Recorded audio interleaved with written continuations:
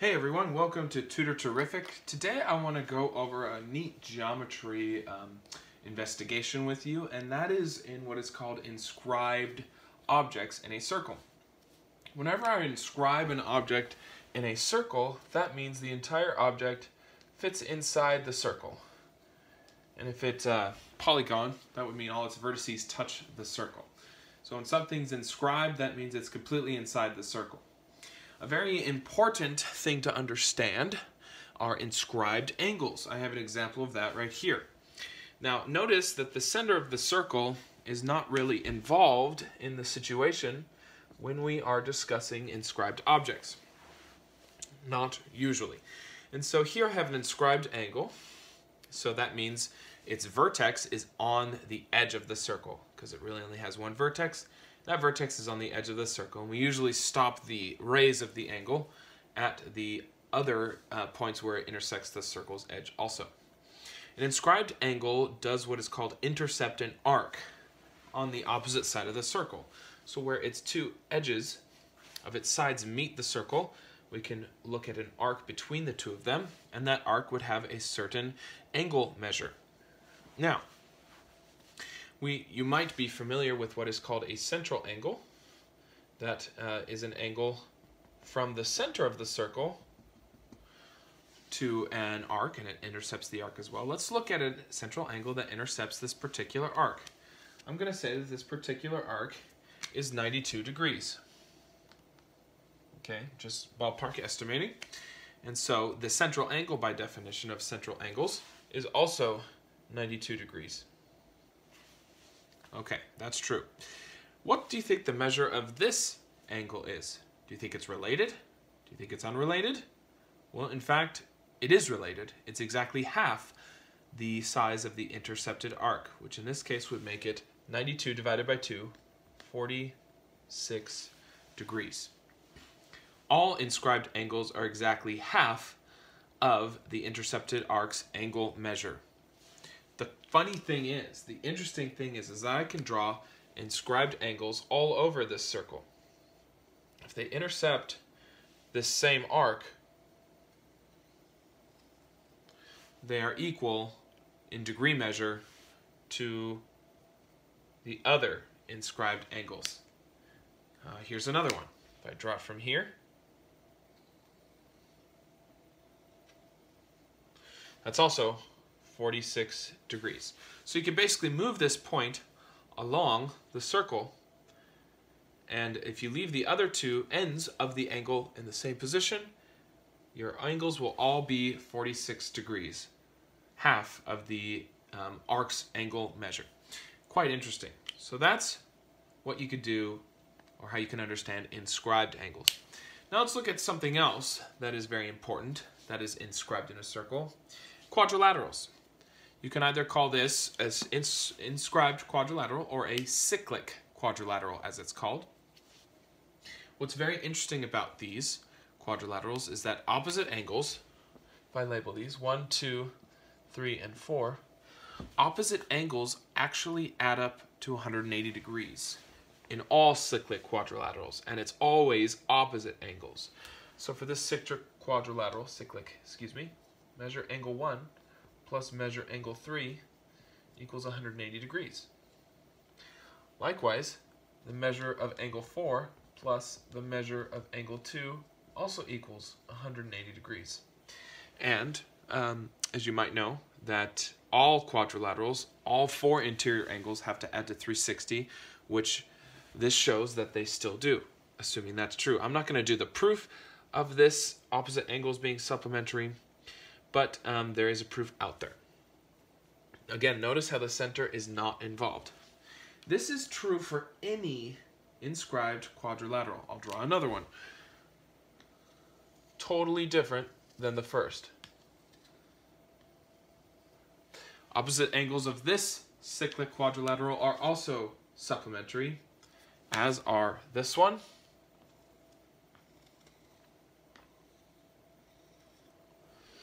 and this one.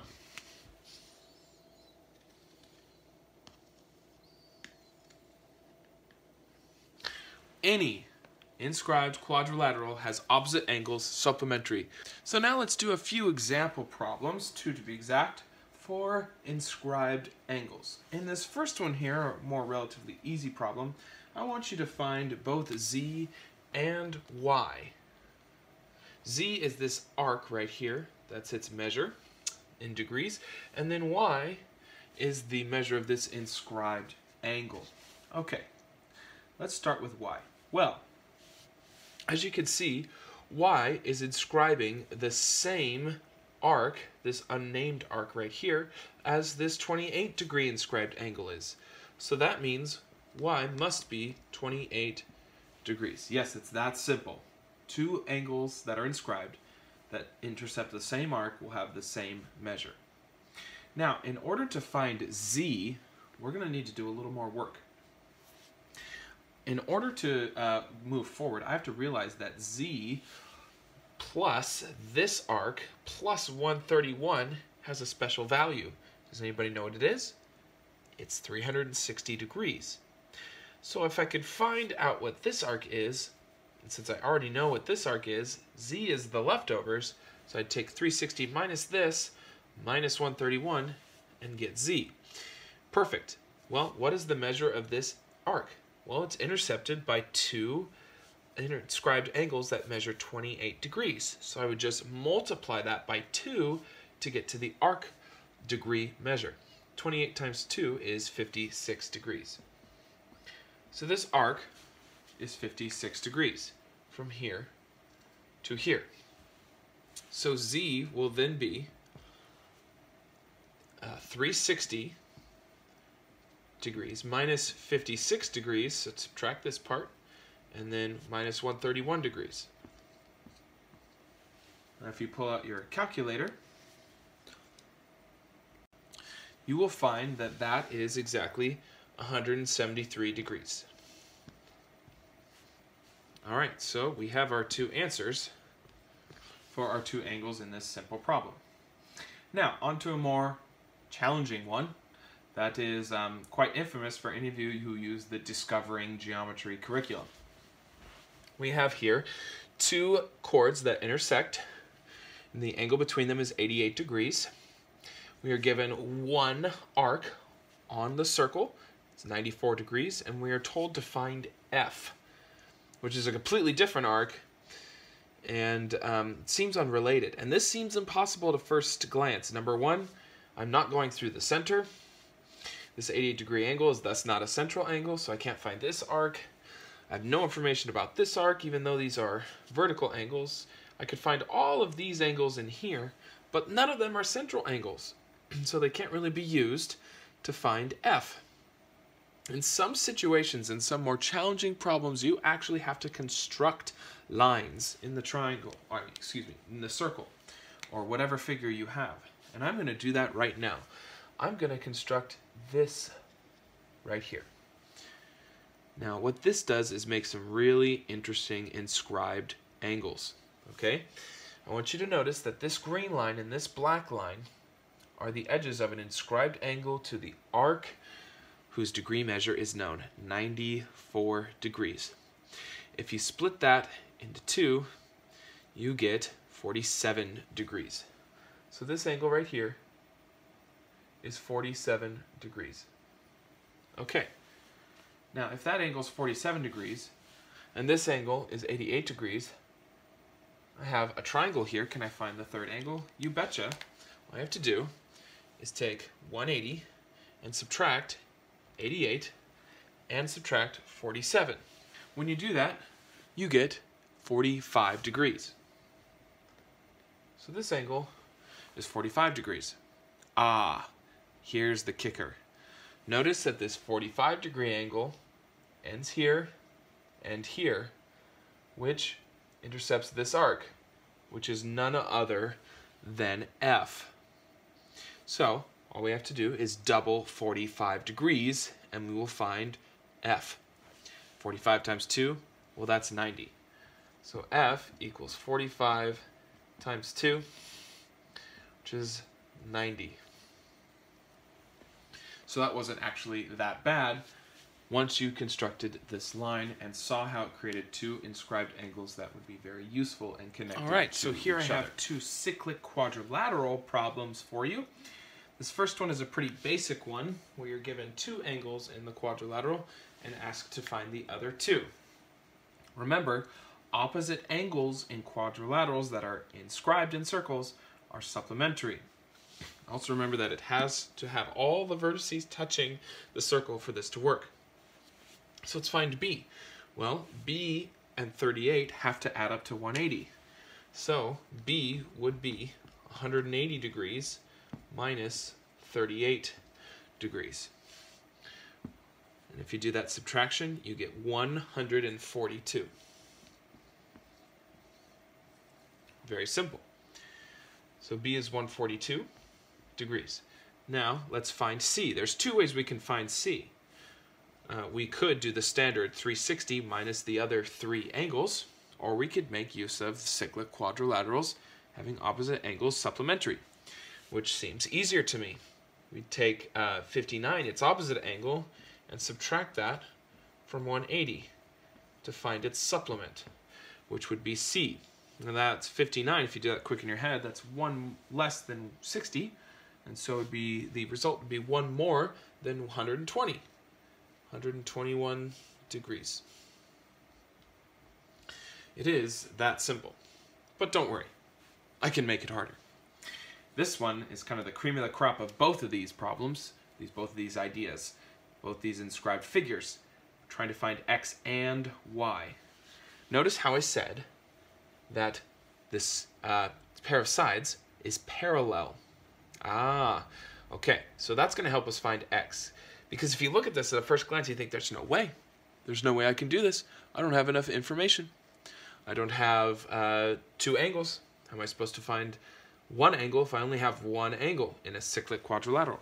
Well, you can make use of those parallel sides.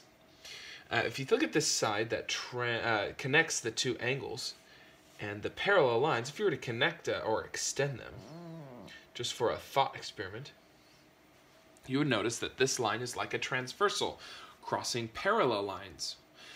Now, x and 95 in that case would be consecutive interior angles. They're on the same side of the transversal, and they are interior, they're inside the parallel lines. Consecutive interior angles are supplementary, it turns out, which is interesting. We thought opposite angles are supplementary. Well, so are consecutive interior angles when two sides are parallel. So, to find x, we can do 180 minus 95, which would give us exactly 85 degrees. So x is 85 degrees. Okay, great. But how in the world does that help us find y? Look at y. y is this arc outside the circle, or at least that portion of the circle. Well, look at x. Look at the angle x. Look at where it ends. x is none other than an inscribed angle. In fact, for any cyclic quadrilateral, all of its angles are inscribed angles quite useful because that'll allow me to find the other part of the circle which the angle x intercepts. That arc will be double 85 degrees. So 85 times 2, which you can do pretty much in your head, that's 170 because 80 times 2 is 160. So this arc is 170. Okay, the remainder of the circle is y, that arc. So to find y, we would just do 360 minus 170. And that, my friends, is 190. So y is 190 degrees.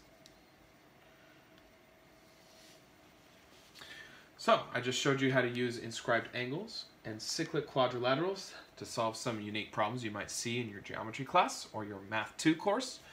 Good luck on those courses and enjoy. Thanks for watching, guys. This is Falconator signing out.